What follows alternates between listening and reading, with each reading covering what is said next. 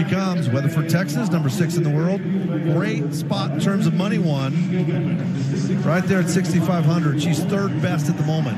Yeah, and it looks like Truck is feeling good from that alleyway. A clean first. I love how this horse snaps around the backside of a barrel. Stevi, like I said, such an aggressive rider. This third barrel is where she really asks for that last step. Beautiful run from Stevi Hillman. Guys, watch the clock on this one. Yeah, this could be very, very fast. Woo. Fastest yet. Wow. 1751. That's going to put her in the top spot.